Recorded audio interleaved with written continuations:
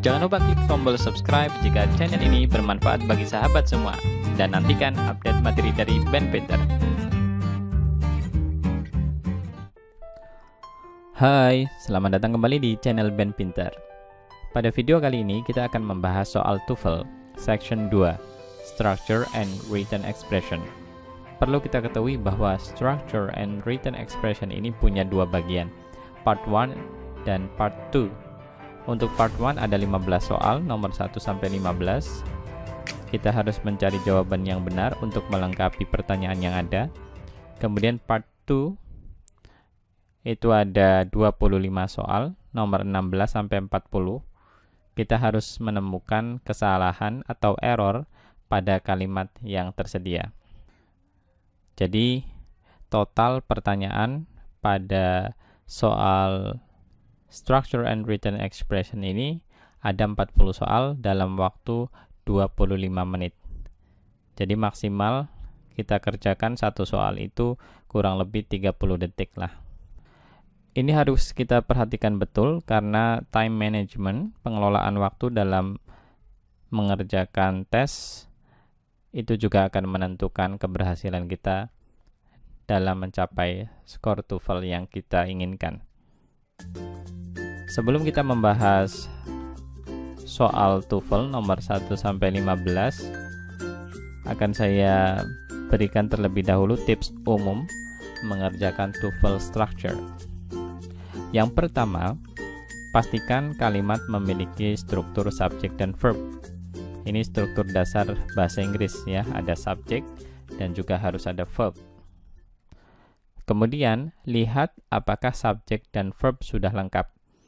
Ya, jadi subjeknya sudah lengkap, kemudian verbnya juga sudah lengkap. Kalau ada yang tidak lengkap, kemudian kita cari di jawaban kira-kira mana jawaban yang tepat untuk melengkapi pertanyaan yang ada. Kemudian, lihat apakah subjek dan verb sudah sesuai. Ya, jadi kalau misalnya subjeknya tunggal, gunakan verb untuk subjek tunggal. Kalau misalnya subjeknya jamak, gunakan verb untuk subjek jamak. Untuk lebih jelasnya, nanti akan kita praktekkan langsung ketika kita membahas soal. Kemudian, jika ada satu konektor, konektor itu adalah kata penghubung, bisa berupa kata tanya, question words, bisa juga berupa penghubung yang lain seperti after, before, dan seterusnya. Jika ada satu konektor, pastikan main verb atau kata kerja utama pada kalimat itu ada dua. Jadi kalau misalnya konektornya ada dua, otomatis kata kerjanya ada tiga. Kurang lebih seperti itulah. Selisihnya antara konektor dan kata kerja itu satu. Konektor lebih sedikit. Kemudian, pastikan konektor yang digunakan sudah benar. Jadi kalau misalnya orang ya gunakan konektor untuk orang ketika kita mengerjakan soal tipe adjective clause misalnya. Oke, supaya lebih jelas, mari kita langsung membahas soal yang pertama in simple animals, blah blah blah, reflex movement or involuntary response to stimuli. Pada soal yang pertama, kalau kita lihat di sini, eh, jawaban yang pertama behavior mostly ini salah karena di sini tidak ada verb. Pada soal di sini juga belum ada verb. Ingat ya struktur kalimat dalam bahasa Inggris ada subjek ada verb. Di sini belum ada struktur subject verb. Di sini tidak ada verbnya atau kata kerjanya, jadi salah. Kemudian most is behavior. Ini ada verb sebenarnya, ada kata kerja is, tapi behavior sebagai kata benda di sini seharusnya dia posisinya sebelum kata kerja. Jadi yang tepat adalah jawaban yang C. Most behavior is. Jadi struktur subject verb di sini. Ada subjek dan verb yang hilang di sini. Yang di ini juga salah karena tidak ada verb. Juga di sini menggunakan the. Perlu kita catat di sini untuk kata most apabila maknanya itu kebanyakan ya lebih dari separuh dari jumlah yang ada atau kuantitas yang ada maka kita gunakan tanpa the Kalau kita gunakan the di sini artinya superlatif, yaitu paling. Biasanya diikuti adjective, misalnya the most difficult, paling susah, the most beautiful, paling cantik, dan seterusnya.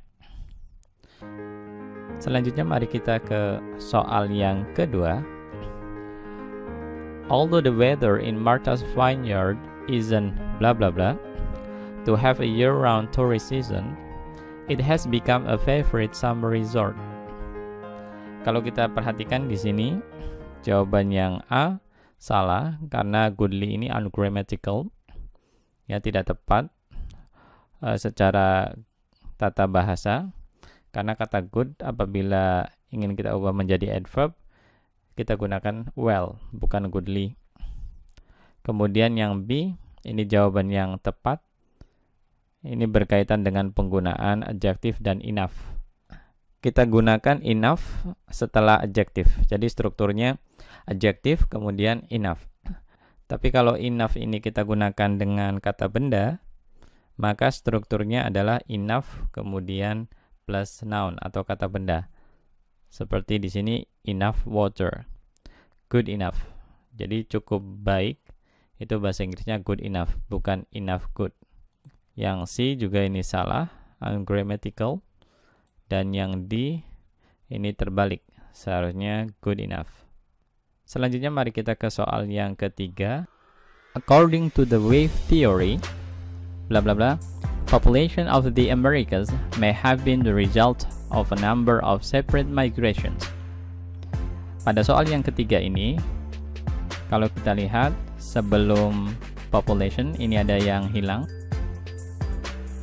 kita lihat jawaban yang E ya ini jawaban yang benar karena the population of the Americas ini memiliki struktur the kemudian noun di sini population biasanya uncountable kata benda yang tidak bisa dihitung kemudian diikuti oleh of the Americas of the Americas ini qualifying phrase jadi frase yang menjelaskan atau membatasi makna population sehingga population di sini maknanya spesifik atau khusus.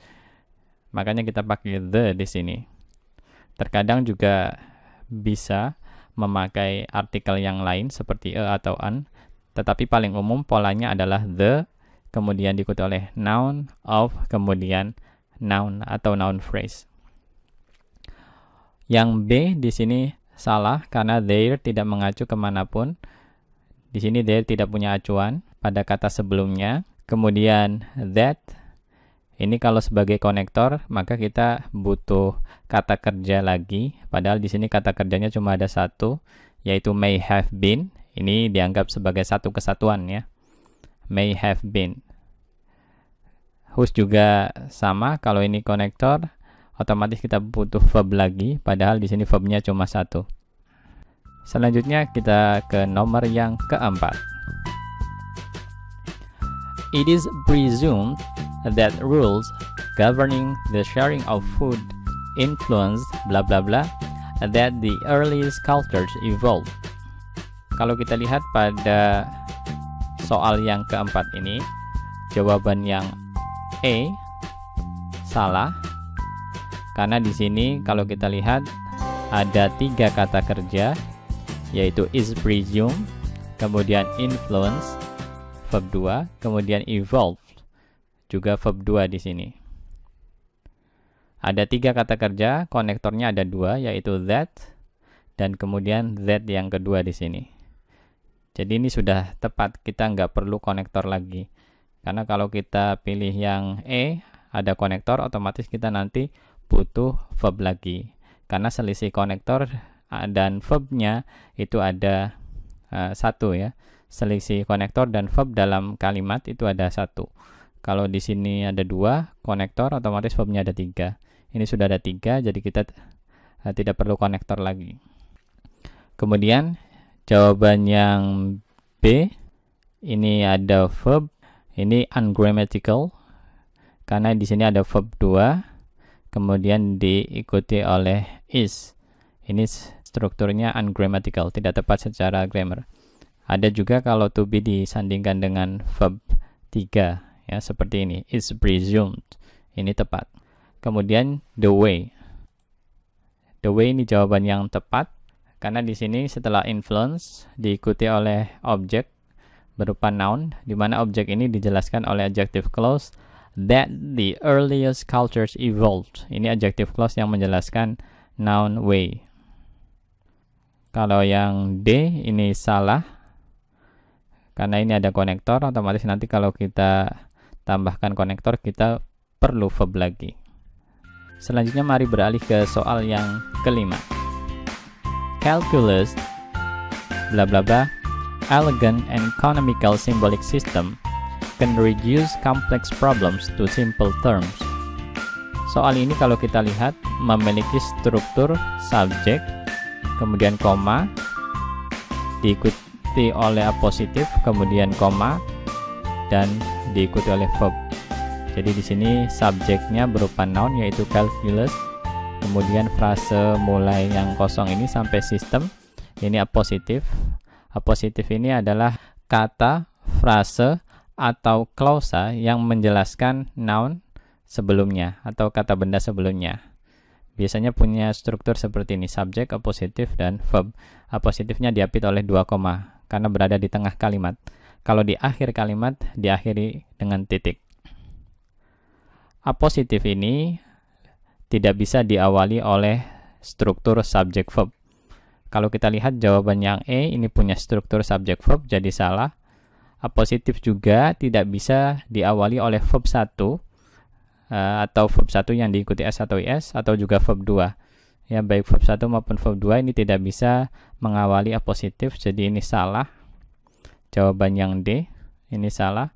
Kemudian Apositif bisa diikuti oleh konektor seperti who ataupun which, tapi tidak bisa diawali oleh konektor that. Jadi jawaban yang B salah. Selain konektor, apositif bisa diawali oleh verb ing, maknanya aktif, verb 3, maknanya pasif, diawali oleh noun atau noun phrase, atau diawali oleh prepositional phrase. Ya, jadi diawali oleh preposisi, kemudian diakhiri kata benda atau kata ganti. Otomatis jawaban yang tersisa ini adalah jawaban yang C, ini jawaban yang benar. Di sini kita butuh artikel karena sistem ini masuk countable noun, kata benda yang dapat dihitung tunggal. Apabila ada singular countable nouns, kata benda tunggal yang dapat dihitung, maka biasanya tidak berdiri sendiri, tapi sebelumnya kita memakai demonstrative adjective seperti this atau that, misalnya this book, atau bisa juga kita memakai possessive adjective seperti my, your, his, contohnya my book. Atau kita juga bisa menggunakan artikel seperti di sini. Ini menggunakan artikel an. Karena elegan ini suaranya huruf vokal ya jadi kita pakai an nggak pakai e. E an ataupun juga bisa pakai the. A book an apple the car. Ini contohnya. Pengecualian seperti misalnya pada kalimat I go to school. School di sini singular countable nouns tapi tidak diawali oleh demonstratif, posesif maupun artikel. Ini termasuk pengecualian. Pengecualian lain misalnya pada kata office atau kata lain. Bisa dicari di buku-buku grammar yang bagus. Kemudian soal yang keenam. Until recently, Canada did not require that US citizens obtain passports to enter the country and bla bla bla. Kalau kita lihat di sini jawaban yang E salah karena di sini memakai neither. Biasanya neither terletak di awal kemudian diikuti oleh verb dan subjek. Ini strukturnya terbalik. Yang B ini jawaban yang benar, jadi subjek kemudian diikuti oleh verb negatif dalam bentuk negatif verbnya, kemudian diikuti oleh either. Jadi subjek verb negatif kemudian either. Ini digunakan untuk negative agreement. Mexico didn't either. Mexico juga tidak. Kalau kita pakai neither, maka strukturnya neither, kemudian verb, verb positif, diikuti oleh subjek. Kalau ada pilihan neither did Mexico, ini juga benar. Jawaban yang C ini salah. Ini terbalik ya, seharusnya did dulu baru Mexico. Kemudian yang D ini ungrammatical karena either biasanya letaknya di akhir kalimat seperti jawaban yang B ini. Selanjutnya soal yang ketujuh. The poet bla bla bla just beginning to be recognized as an important influence at the time of his death. Kalau kita lihat pada soal yang ketujuh di sini belum memiliki verb karena recognize di sini meskipun verb 3 tapi diawali oleh to ini tidak bisa menjadi verb yang merupakan syarat lengkapnya sebuah kalimat dalam bahasa Inggris. Kemudian beginning ini ada kemungkinan verb dengan syarat sebelumnya diawali oleh to be. Kita lihat dalam pilihan jawaban yang E ini salah karena tidak ada verb di sini Kemudian B juga salah. Meskipun ada verb, tapi di sini ada konektor who. Ingat ya, kalau ada konektor, maka verbnya paling tidak harus ada dua. Padahal kalau kita lihat di sini, verbnya belum ada. Kalaupun pakai was, berarti verbnya baru ada satu. Kurang nanti verbnya. Kemudian yang C ini salah, tidak ada verb. Dan jawaban yang tepat adalah yang D. Walt Whitman was. Jadi di sini subject verb. Adapun the poet di sini sebagai premodifier eh, artinya sang pujangga, Walt Whitman. Kemudian soal yang ke-8, the formation of the sun, the planets, and other stars began with the condensation of an interstellar cloud. Kalau kita lihat di sini, jawaban yang E ini tidak tepat karena ungrammatical. Di sini it tidak bisa menerima. Jadi it accepted ini tidak tepat. Kemudian yang B verb ini nanti missing subject di sini. Ini juga tidak tepat. Jawaban yang tepat adalah it is accepted that. Jadi ini anticipatory clause, klausa yang di awal kalimat. Setelah that ini diikuti oleh subject verb. Di sini subjeknya the formation of the sun, bla bla bla sampai stars. Ini subjek lengkapnya. Kemudian verbnya began.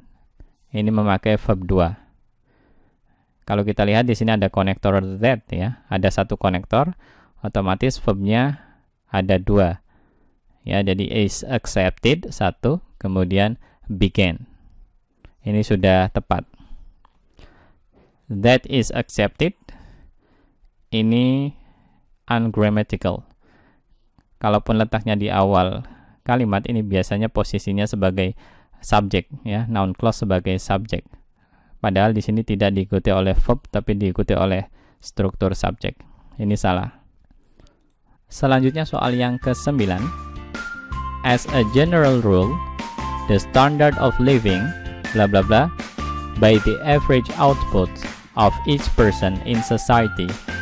Kalau kita lihat di sini, kalimat ini sudah memiliki subjek ya, yaitu the standard of living. Ini subjek lengkapnya. Subjek headnya adalah standard. Subjek head adalah subjek yang mempengaruhi verbnya. Apakah verb yang kita gunakan? Itu verb tunggal atau verb untuk subjek uh, jamak. Ini tergantung subject headnya. Di sini subject headnya adalah standard. Kalau kita lihat di sini A, C, dan D ini verb untuk subjek tunggal. Sementara B ini verb untuk subjek tunggal ataupun jamak verb 2. Jawaban yang tepat adalah yang A. Di sini X fix, jadi kalimat pasif di sini cirinya memakai be dan verb 3 is fix uh, ciri lain di sini ada kata by ya yang artinya oleh ini penanda kalimat pasif yang B salah karena ini aktif nanti maknanya yang C juga salah nanti ini untuk kalimat aktif fixes juga salah ini juga untuk kalimat aktif Jadi jawaban yang tepat adalah yang A. Selanjutnya soal yang ke-10. The Consumer Price Index list bla bla bla. Kalau kita lihat di sini jawaban yang A salah. Ini setelah question word diikuti oleh verb dan subject ini ungrammatical. Kemudian jawaban yang B ini juga salah karena ini struktur seperti dalam bentuk pertanyaan. Padahal how much sampai akhir ini masuk dalam pernyataan the consumer price index list apabila question word diikuti oleh struktur subject verb masuk dalam pernyataan atau pertanyaan lain maka polanya harus dalam bentuk pernyataan yaitu setelah how di sini harus subject verb bukan pertanyaan seperti di sini pada pilihan yang B setelah how di sini diikuti oleh auxiliary, kemudian subject dan verb. Ini bentuk pertanyaan. Jawaban yang benar adalah yang C. Jadi setelah how much di sini diikuti langsung oleh subject dan verb. Question word atau konektor diikuti subject dan verb. Ini adalah noun clause yang jadi objek dari kata kerja list. Jawaban yang D juga salah, ini ungrammatical karena di sini memakai are sebelum subjek every car. Selanjutnya soal yang ke-11. The Ford Theater where Lincoln was shot bla bla bla. Jawaban yang E must restore ini salah karena kalau kita lihat di sini subjeknya adalah the Ford Theater kemudian where Lincoln was shot. Ini adjective clause. Ini subjeknya adalah Lincoln. Kemudian verbnya ada was shot. Jadi setelahnya di sini kita butuh verb. Must restore ini tidak bisa menjadi verb dari the Ford Theater. Karena the Ford Theater ini tempat, jadi tidak bisa restore dengan sendirinya. Kemudian yang B juga tidak tepat karena ini konteksnya lampau ya tidak konteks sekarang ataupun konteks future yang C ini jawaban yang tepat jadi ini untuk logical conclusion about the past ya, strukturnya must have kemudian diikuti oleh verb 3 ini untuk kesimpulan yang logis tentang sesuatu di masa lalu di sini must have been restored pasti sudah diperbaiki. Jadi the fourth theater bla bla bla must have been restored. Pasti sudah diperbaiki. Yang D ini sudah jelas salah ya karena setelah modal must ini harus verb base. Di sini restored verb 2. Jadi ini salah. Pokoknya kalau setelah modal ada verb 2 ataupun verb 3 ataupun verb 1 tapi dengan s atau is ataupun verb ing ini sudah jelas salah. Jadi setelah mas harus bentuk verb base. Kalaupun memakai to be seperti jawaban yang B, ini memakai to be bentuk asal yaitu be. Must be restoring. Baru ini boleh memakai verb ing di sini. Selanjutnya soal yang ke-12. Fast food restaurants have become popular because Many working people want bla bla bla. Kita lihat jawaban yang E ini jawaban yang tepat ya, benar. Karena want di sini bermakna ingin. Jadi kalau kata want bermakna ingin ini diikuti oleh infinitif yaitu to kemudian diikuti oleh verb base. Di sini to eat. Jadi want to eat. Jadi di sini infinitif to eat. Tapi kalau maknanya perlu sama dengan need, biasanya diikuti oleh verb ing. Seperti jawaban yang B ini salah karena di sini makna yang dikehendaki adalah makna ingin, want to eat. Ingin makan cepat dan murah. Kalau yang B, want eating berarti ingin dimakan. Ya, maknanya pasif. Ingin dimakan nggak mungkin working people ingin dimakan kan oke jadi ini yang B salah yang C juga salah karena bukan infinitif juga bukan verb ing Yang ini juga salah karena the ini tidak bisa diikuti oleh verb. Jadi setelah the itu noun. Di sini it adalah verb base atau verb satu di sini. Jadi ini salah. Selanjutnya soal yang ke-13. After seeing the movie Centennial bla bla bla. Kalau kita lihat di sini seeing the movie Centennial ya setelah konektor after di sini diikuti verb ini sebenarnya bentuk reduce adverb clause ya atau bentuk introductory verbal phrase yang mana di sini frase seeing the movie Centennial ini menjelaskan noun yang terletak setelah koma di sini. Jadi di sini subjek pada frase ini dan juga kalimat setelah koma itu harus subjek yang sama. Jawaban yang E ini salah. Karena kalau kita jawab yang E, maka di sini subjeknya the book. Nggak mungkin kan buku seeing the movie. Buku tidak bisa melihat uh, film. Yang bisa melihat itu kan orang.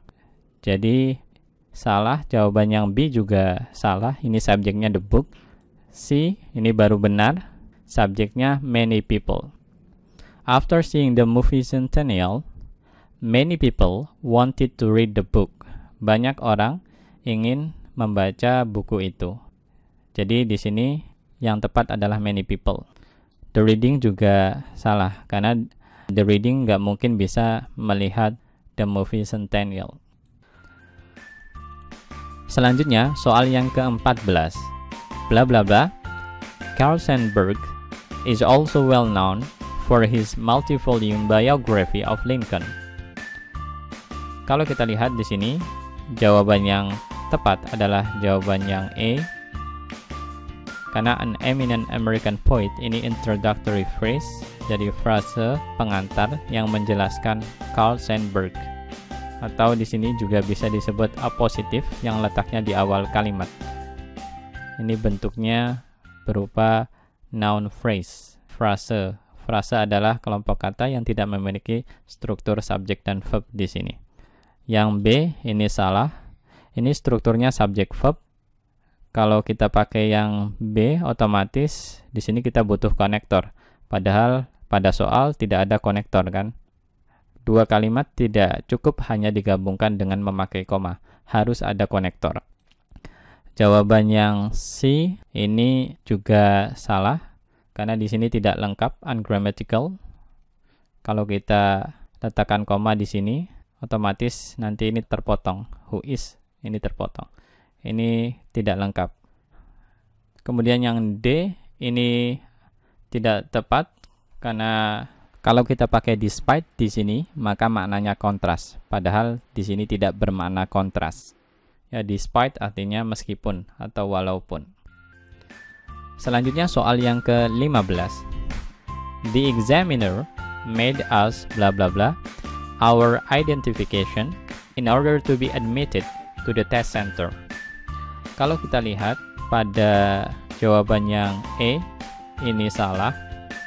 Karena di sini ada kata kerja made kemudian diikuti oleh us kemudian di sini ada yang kosong. Ini seharusnya diisi bukan oleh verb ing tetapi oleh verb base seperti jawaban yang B ya jawaban yang B ini jawaban yang tepat. Ini bentuk kata kerja kausatif. Jadi kata kerja yang digunakan untuk menyebabkan orang lain melakukan sesuatu.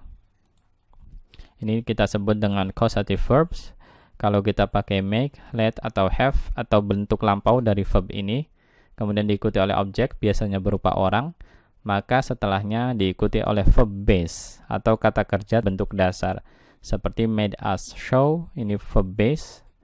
Let us go, go juga ini verb base. Have atau has us check, ini juga verb base. Kalau lampau kita bisa pakai had di sini.